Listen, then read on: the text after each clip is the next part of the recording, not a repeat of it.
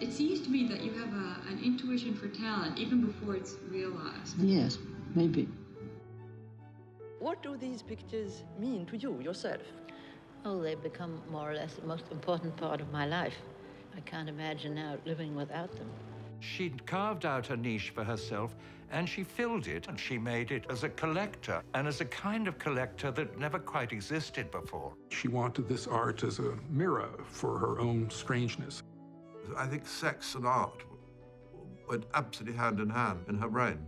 She was talked about as such a slut for doing the same thing that all the men around her were doing. Peggy is a sort of model for the liberated woman.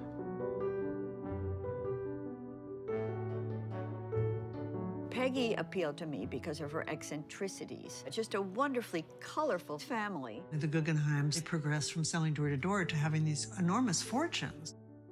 You must have been extremely shocked when your father died on the Titanic. Yes.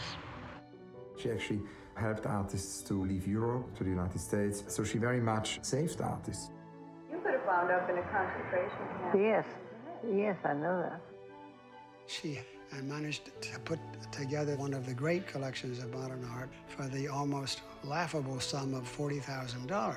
Some of these prices are subjective because they're so rare. But you're talking billions, billions of dollars.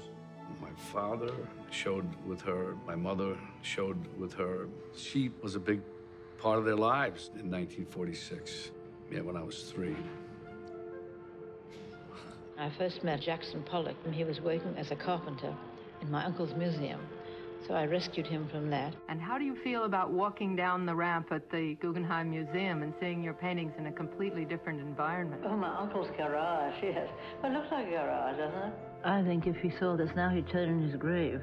I came to Venice, which I'd always adored, which had been my dream city. Did you feel it was a crazy life? Definitely, yes. It was all about art and love.